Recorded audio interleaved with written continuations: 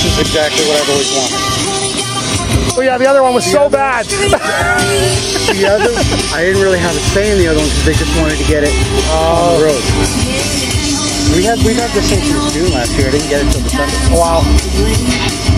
Looks good. So when it came in, it had a black frame. Yeah. So we stripped it right down. No tires. Took everything off, fuel tanks off, steps off, and painted it uh, flame red effect. Wow. And it just popped. The flame just popped. But now she's got to do that all the time. Right?